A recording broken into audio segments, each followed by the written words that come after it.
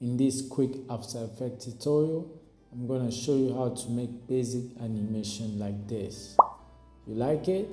Let me show you how I did it.